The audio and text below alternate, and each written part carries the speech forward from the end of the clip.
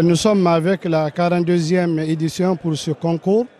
Euh, S'inscrit euh, euh, 250 euh, candidats divisés par sept catégories. Cette catégorie, il y a des règles. Exemple, quand on commence par la première catégorie, c'est mémorisation de cinq Coran entier. Là-bas, on demande la force de mémorisation de, la récitation de cinq Coran, plus euh, avec respecter des règles de la lecture. Nous sommes ici en Guinée, nous avons de, beaucoup d'écoles coraniques. Euh, chaque année, chaque école coranique représente euh, leurs candidats pour participer dans ce concours.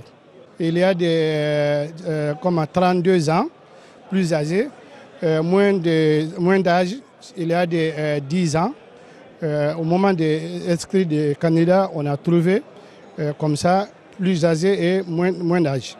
Comme c'est 250, c'est environ de 50 filles, parce qu'on a vu dernière, dernière fois là, les, femmes ils ont fort fait leur euh, courage encore pour participer dans ce concours.